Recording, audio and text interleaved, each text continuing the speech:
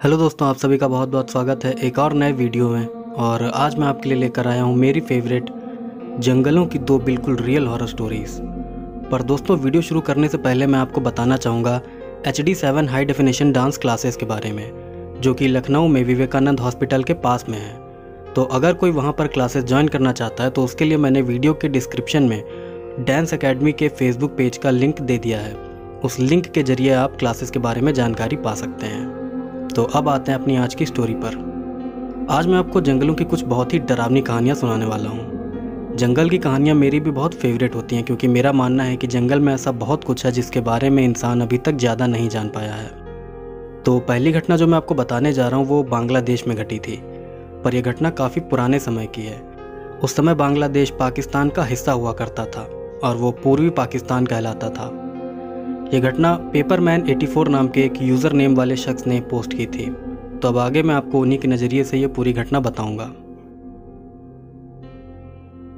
मैं आपको अपना नाम नहीं बताऊँगा, पर मैं इतना बता सकता हूँ कि मैं पाकिस्तान का रहने वाला हूँ और मेरे पापा पाकिस्तान आर्मी के एक रिटायर्ड सिपाही हैं। और जो घटना मैं आज आपको बताने जा रहा हूँ, वो मेरे पापा के साथ तब घटी थी जब बांग्लादेश पाकिस्तान का हिस्सा हुआ करता था। दरअसल मेरे पापा ने जब पाकिस्तान आर्मी ज्वाइन की थी तब उनको ट्रेनिंग के लिए पूर्वी पाकिस्तान यानी कि आज के बांग्लादेश भेजा गया था।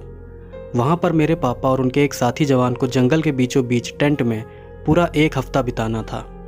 ये उनकी ट्रेनिंग का ही एक हिस्सा था। तो अपनी ट्रेनिंग पूरी करने के लिए वो लोग आबादी से 80 किलोमीटर दूर जंगल के बीचों बीच टेंट में रहने लगे।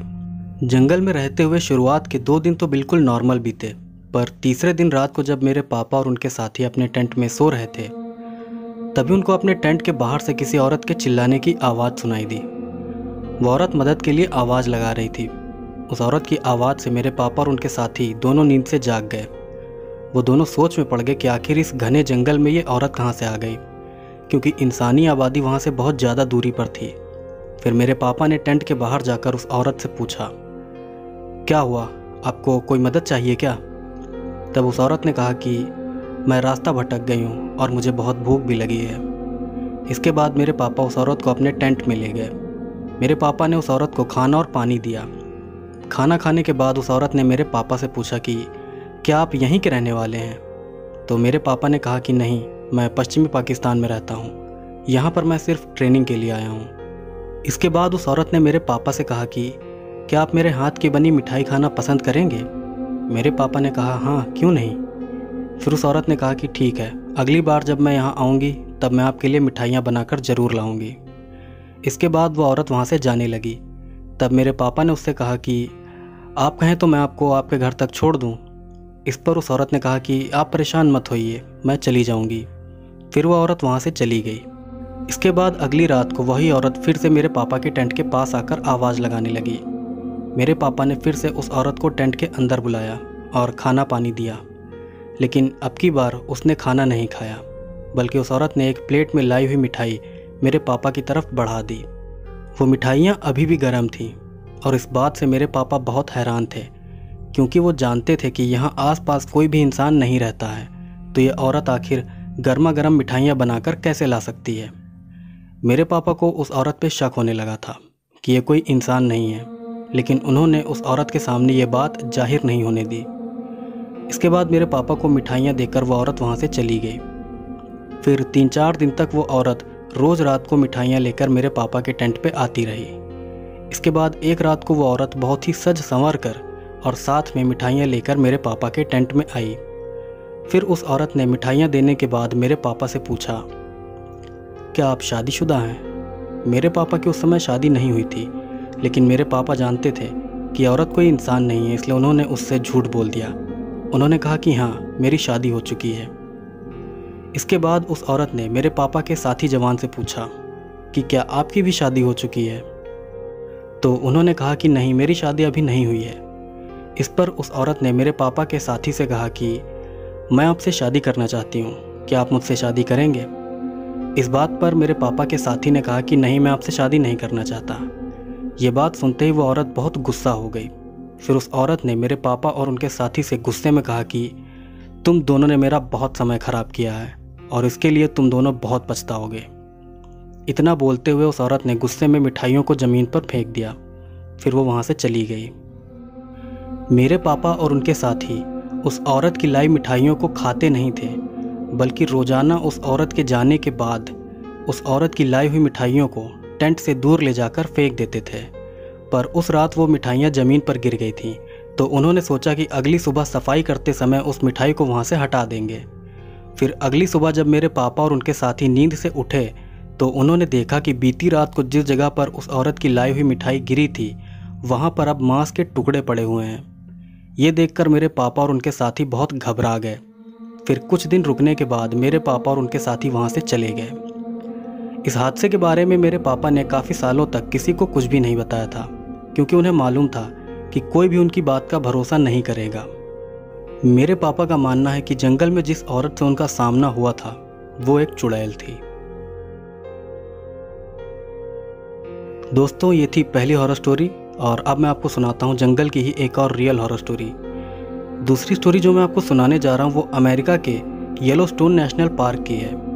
ये घटना रेडिट पर एड्रियन नाम के एक शख्स ने पोस्ट की थी। तो आगे की घटना मैं आपको एड्रियन के पॉइंट ऑफ़ व्यू से सुनाऊँगा।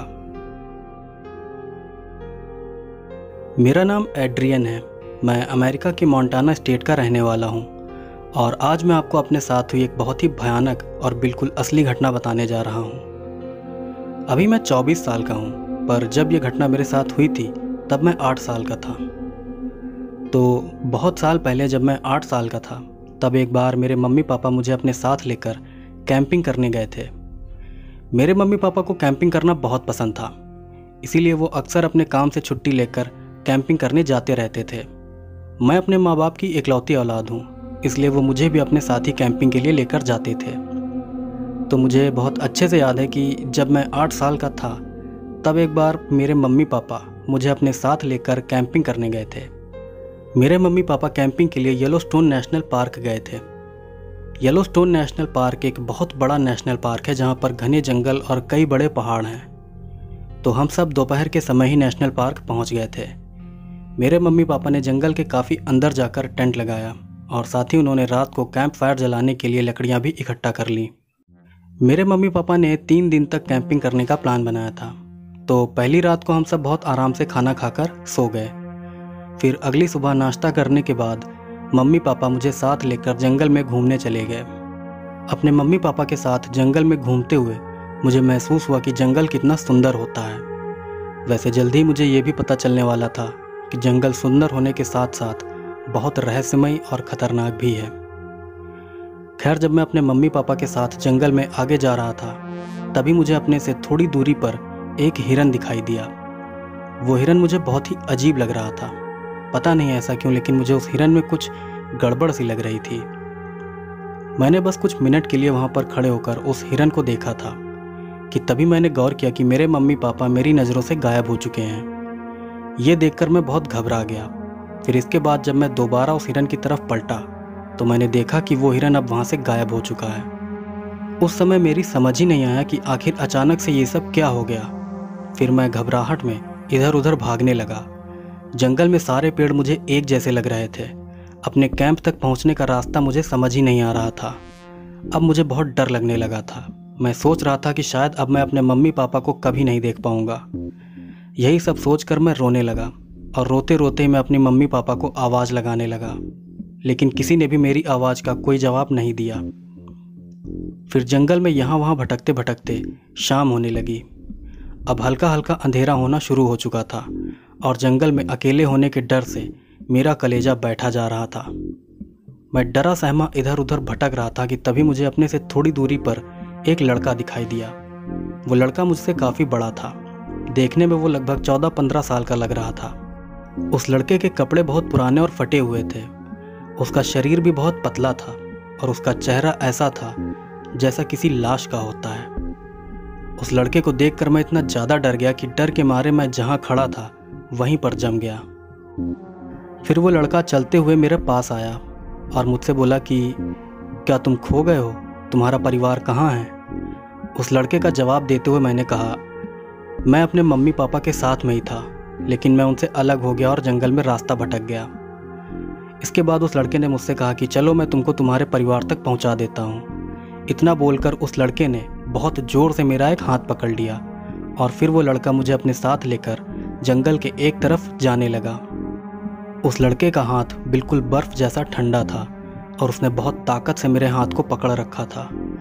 उस समय मैं बहुत ज़्यादा डरा हुआ था, साथ ही मेरे दिमाग में उस समय बहुत अजीब अजीब से ख्याल आ रहे थे। मैंने जंगल में रहने वाले शैतानों की कई कहानियाँ सुनी थी। मैंने सुना था कि वो शैतान बच्चों को मार के खा जाते हैं। उस समय मुझे ऐसा लग रहा था, जैसे वो लड़का भी मुझे मारना चाहता है। मैं रोते हुए उस लड़के के साथ साथ चल रहा था, पर तभी उस लड़के ने अपने होठों पर उंगली रखते हुए मुझे शांत रहने का इशारा किया। अब डर के मारे मेरी हालत बहुत ज़्यादा ख़राब हो गई थी। फिर मैंने डरते हुए उस लड़के से पूछा कि, क्या तुम मुझे मार डालोगे? मेरी बात का उस लड़के ने जवाब दिया कि, मैं यहाँ तुमको मारने नहीं, बल्कि बचाने आया हूँ। उस लड़के की बात सुनकर मुझे बहुत हैरानी हुई। फिर मैंने उससे दोबारा सवाल पूछा, तुम मुझे यहाँ किससे बचाने आए हो? मेरी इस बात का उस लड़के ने कुछ ऐसा जवाब दिया, जिसे सुनकर मेरे पैरों के नीचे से ज़मीन खिसक गई। उस लड़के ने कहा कि मैं तुम्हें उस शैतान से बचाने आया हूँ जिसने मेरी जान ली थी। उसकी ये बात सुन के मैं थोड़ी देर के लिए चुप हो गया, पर फिर मैंने उससे पूछा कि तुम किस शैतान की बात कर रहे हो? मेरी बात का उस लड़के ने कोई जवाब नहीं दिया। अब धीरे धीरे जंगल में अंधेरा बढ़ने लगा था। फिर तभी अचानक से मुझे अपने पीछे कुछ दूरी से मेरे पापा की आवाज़ सुनाई दी। मेरे पापा कह रहे थे, यहाँ आओ, एड्रियन, मैं यहाँ हूँ। देखो, मैं यहाँ हूँ। अपने पापा की आवाज़ सुनकर मैं बहुत खुश हो गया था।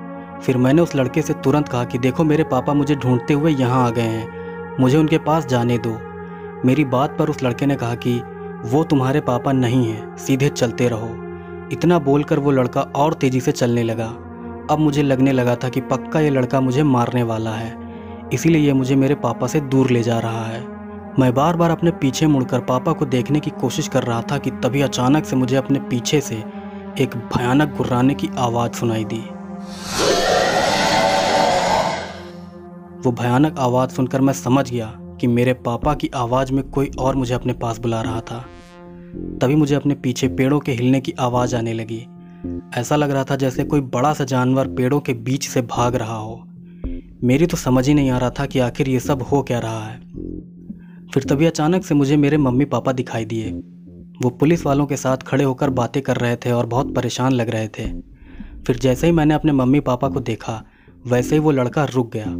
इसके बाद उस लड़के ने मुझसे कहा, मैं तुम्हें वेंडिगो से बचा रहा था। उसी शैतान ने मुझे मारा था। अब आगे से कभी भी तुम जंगल में अपने परिवार से अलग मत होना और ना ही कभी जंगल के अंदर उस शैतान का नाम लेना। इतना बोलकर उस लड़के ने मेरा हाथ छोड़ दिया। फिर मैं भागकर अपने मम्मी पापा के पास पहुँच गया। मम्मी पापा बहुत परेशान थे और उन्होंने मुझे देखते ही पूछा कि, एड्रियन, तुम कहाँ चले गए थे? हम कितना परेशान हो रहे थे तुम्हारे लिए। तब मैंने अपने मम्मी पापा से कहा कि, मैं जंगल में खो गया था और उस लड़के ने मुझे आप तक पहुँचाया है। मेरी बात पर मेरे मम्मी पापा ने कहा कि किस लड़के ने, तुम किसकी बात कर रहे हो? फिर जब मैंने पलट कर उस लड़के की तरफ़ देखा, तब मैंने पाया कि वो लड़का अब वहाँ से गायब हो चुका था। इतने सालों बाद भी मुझे उस लड़के का चेहरा अच्छी तरह याद है। मुझे लगता है कि वो लड़का वेंडिगो का शिकार बन गया था, और उसकी आत्मा ने मेरी जान बचाई थी, वरना मैं भी वेंडिगो का शिकार बन जाता। तो दोस्तों, ये थी आज की दो बिल्कुल रियल हॉरर स्टोरीज़ और दूसरी स्टोरी जो अभी आपने सुनी है, ये वेंडिगो के बारे में थी।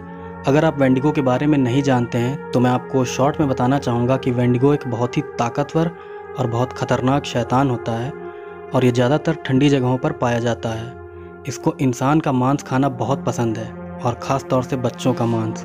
बाकी अपने एक पुराने वीडियो में मैंने वेंडिगो के बारे में बहुत अच्छी जानकारी दी है। आप चाहें तो वो वीडियो भी देख सकते हैं। उस वीडियो का लिंक मैं आपको डिस्क्रिप्शन में दे दूँगा।